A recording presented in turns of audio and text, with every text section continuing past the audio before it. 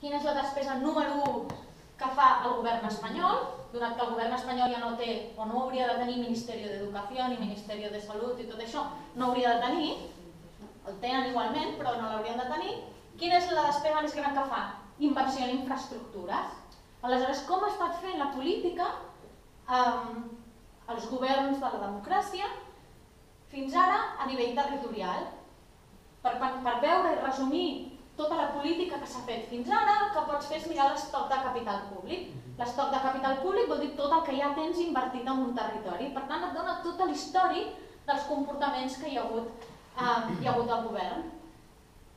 Catalunya és el territori on hi ha menys estoc de capital públic de tot l'estat espanyol, un 27% per sota de la mitjana. Um, han de millorar les coses? No ho sembla pas. En el 2011 es liquida només un 35% de tot el que estava pressupostat per Catalunya. En el 2012 i el 2013, que encara no està liquidat, només hi ha el, només es, només es pressuposta ja un 11%, que és el mateix 11% que hem vist al principi. Evidentment les dades acaben creuant. De la dia tercera només es va pagar el primer any. La dia tercera va ser el gran invent en l'Estatut de dir anem a intentar revertir aquest dèficit històric d'infraestructures que té Catalunya i durant un període de 7 anys invertirem el pes de Catalunya en el PIB espanyol. Això havia de revertir parcialment, perquè és un període temporal curt i, et, i, et, i et inverteixen el teu pes en PIB. Doncs d'aquests anys, d'aquests 7 anys es va pagar el primer i després nunca més se supo. La DEA tercera ha sigut una cosa que seguit reclamant, que ara ja han decidit que no cal ni que seguim reclamant perquè, per si bojos, tornant amb això. Fomento reconeix que deu més de 5.000 milions. Això ja no és els catalans estan pirats i van demanant coses. Això és la ministra de Fomento quan ve aquí i es passeja amb el Recoder quan era, quan era conseller de territori i se'n van a passejar amb tren i li diu, ai sí, per cierto, te debo 5.000 milions. I t'ho reconeixen, però evidentment no fa res. Aquests, molts d'aquests, són els rodalies que intenten entrar a Barcelona, que entenc que gairebé tots deu ser de Barcelona, però la gent que viu fora té greus problemes per venir a treballar. El, la, un del gran dèficit que hi ha aquí dintre és això, per no parlar ja del corredor del Mediterrani. El corredor del Mediterrani que l'acabaran fent passant per Madrid i perforant els Pirineus. El corredor, la zona del corredor del Mediterrani entra en el 60% de totes les exportacions que fan que fa Espanya a Europa. El 60% passa per allà. D'aquest 60%, només el 4% d'aquestes mercaderies van per tren. Quan a Europa i tots els països civilitzats diuen has de posar les mercaderies en el tren perquè és molt més barat i molt més ecològic i els has de, els has de posar una via separada d'on van els passatgers. Aquí no. Aquí només un 4% i han d'anar per la via dels passatgers que com els passatgers tenen preferència no arriben mai. Tots sabem el tema del drama de les connexions del Port de Barcelona, el drama de les connexions del Port de Tarragona venen els xinesos, fan la gran inversió al port de Barcelona, però després no hi ha manera de treure, de treure les mercaderies amb el carrilet, estupendo. Doncs, si el primer problema que hi havia era un greu problema per l'estat del benestar, era un greu dèficit fiscal, és un greu problema per les persones, la segon factor que és crucial a dins de la balança fiscal és un greu problema per a les empreses. Això trenca clarament amb la competitivitat, amb, el, amb totes les empreses exportadores eh, catalanes, que són el percentatge més gran d'empreses de, exportadores de tot l'estat, on bàsicament no les deixen competir.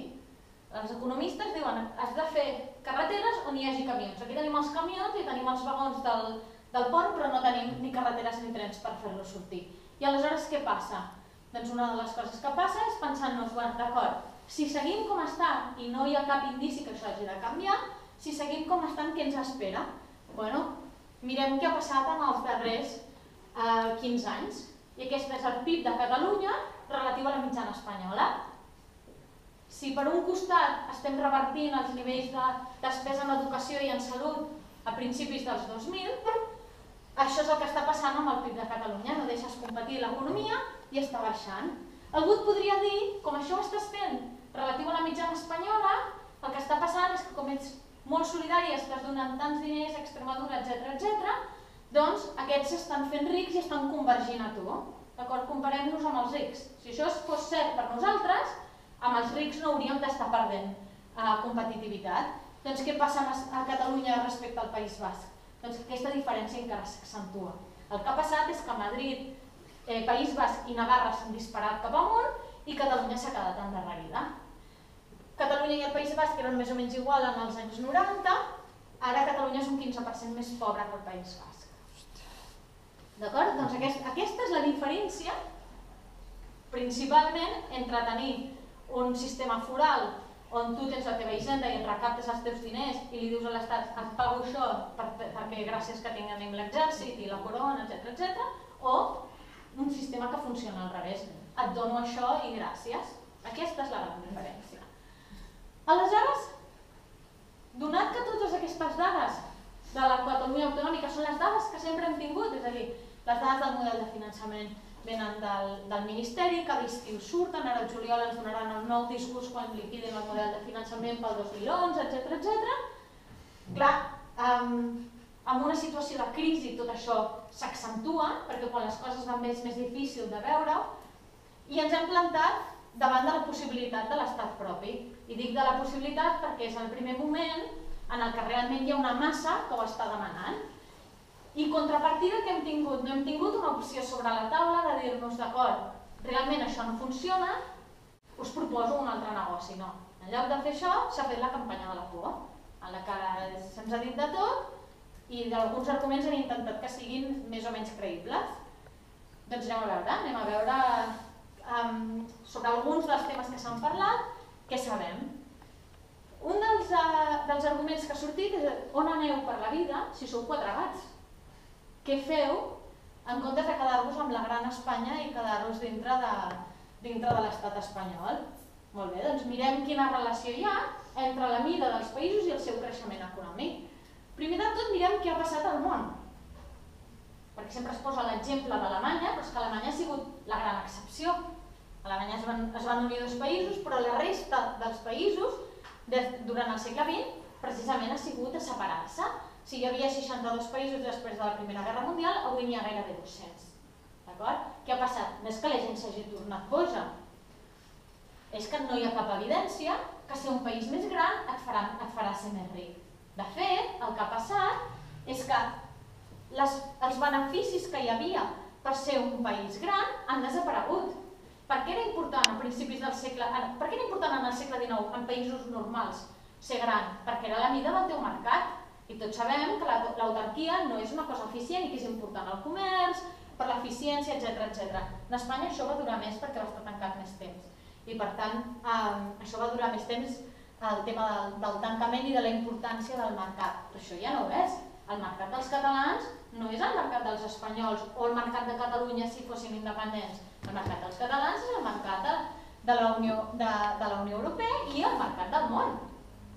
Per tant, no hi, i a part, no hi ha cap relació empírica, no hi ha cap teoria econòmica que et digui que tu has de ser un país gran per triomfar en la vida.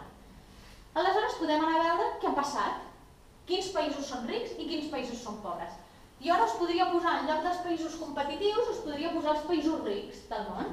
Però això seria fer trampa una mica perquè hi ha països molt exòtics com Brunei, que són petitets i molt rics, i em diríeu, home, aquí esteu fent trampa. Doncs anem a mirar els països competitius. Els països competitius són els països que fan bé les coses que tenen un bon sistema sanitari, un bon sistema educatiu, que no tenen corrupció, que tenen bones institucions, etc etc.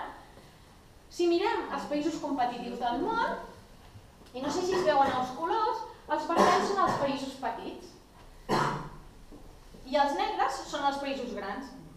I veieu que hi ha meitat i meitat. Hi ha països grans com els Estats Units, o el Japó, o el Regne Unit, que estan a la llista dels països més rics, sorry, perdó, més competitius, Alemanya, però també hi ha una muntanya de països petitets de la mida de Catalunya, Suïssa, Singapur, Suècia, Finlàndia, etc etc. Si miréssim el, els països rics, de fet, l'únic país ric del món que és gran són els Estats Units, els altres no són tots petits. Um, aleshores, què és important? És important que facis les coses bé. I sobretot és important que si tu ets un país petit, siguis un país obert al món. Aleshores podem mirar i dir quin és el grau d'obertura que té Catalunya i podem comparar, el grau d'obertura es, eh, es mesura com les importacions més les exportacions dividides pel PIB. Mirem el grau d'obertura que té Catalunya relatiu a la Unió Europea. I veiem que Catalunya és el novè país, si fóssim un país, més obert de la Unió Europea i Espanya estaria al 24è. Això no és... Eh, està molt relacionat amb la vida. Contra més petit ets, naturalment ets més obert. I, I Catalunya bàsicament està on li toca estar.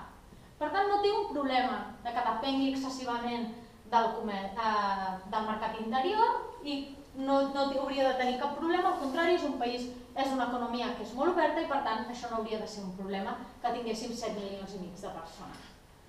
Um, un altre dels temes que ha sortit molt, bueno, que va sortir molt, sobretot a l'època de les eleccions, eren les estructures d'estat prohibitives. És a dir, se'ns deia, per què voleu ser independents si heu de començar a replicar totes aquestes grans institucions que té Espanya ja fetes i haureu de fer una nova agència tributària, un nou tribunal constitucional, un nou etc etc etc. Um, aleshores vam dir, bueno, la, la professora Núria Bosch i la professora Marta Espasa de la UB van dir, bueno, anem a mirar què costa fer això i comparem què costa fer això amb els diners que ens treuen cada any. Aleshores elles van fer unes hipòtesis a dir, bueno, com no sabem com serà la Catalunya independent o com seria la Catalunya independent, suposem que es comportaria a nivell tributari i a nivell de què gasta en cada cosa igual que fa l'estat espanyol, que no té per què ser així, però és la millor hipòtesi que pots fer agafant dades del, del 2006 fins al 2009, que eren les, les més recents que teníem aleshores, vam veure que si nosaltres ens quedéssim tots els impostos que se generen a Catalunya, la Generalitat tindria gairebé un 26% del PIB més en recursos. I què hauria de gastar per tenir les mateixes estructures d'estat que té el govern espanyol? 18,5. És a dir, tindríem un guany de més del 7% del PIB.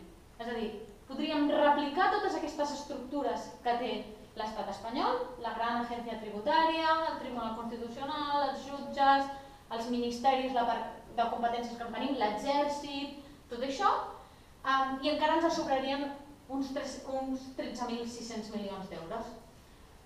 Amb una cosa que s'ha d'afegir, i és que la despesa que tu gastaries per fer les estructures d'estat, te les estaries gastant aquí. I ara tots sabem, amb el tema de l'austeritat, lo important que és i lo estimulant que és per l'economia que et gastis els diners aquí. És a dir, en lloc d'anar a fer un ministeri a Madrid, en lloc d'anar a fer una agència tributària a Madrid, etc etc, serien diners que s'estarien aquí, que multiplicarien l'economia i a més generarien llocs de treball de gran qualificació. Tots aquests abogados de l'Estat, economistes de l'Estat, etc etc, que estan tots a Madrid. Um, per tant, et pots permetre les estructures d'estat, et sobren diners i allò que t'estàs gastant, tu estàs gastant en el teu propi territori. Un tema que va sortir molt, i sobretot això sortia, depèn anaves per la geografia catalana, és el tema dels fons europeus, perquè hi ha gent, sobretot els agricultors, que tenen accés a aquests fons europeus i que els preocupa. Aleshores vam agafar i vam començar a mirar la relació que té Catalunya amb la Unió Europea, amb el pressupost de la Unió Europea des del 1986 que és l'any en el que Catalunya va accedir, bueno, a través d'Espanya, que va accedir a la Unió Europea. I el que vam veure és que si compares el que nosaltres aportem a la Unió Europea amb el que nosaltres rebem per fons europeus, Catalunya sempre ha sigut una contribuïdora neta a la Unió Europea, és a dir, sempre hem aportat més en el pressupost que no pas el que hem rebut del pressupost. Això ha sigut cada any des del 1986. És especialment irònic que això passi, donat que tots aquests anys Espanya ha sigut una receptora neta. És a dir, des del 1986 per Espanya ha sigut un negoci estar dintre de la Unió Europea, però per Catalunya no. A què es deu això? Això es deu que nosaltres aportem un 19% de tots els diners que Espanya paga per estar a la Unió Europea a través del pressupost, però només rebem un 7% de tot el que arriba. És a dir, de cada euro que els catalans envien en el pressupost europeu, només rebem 42 cèntims.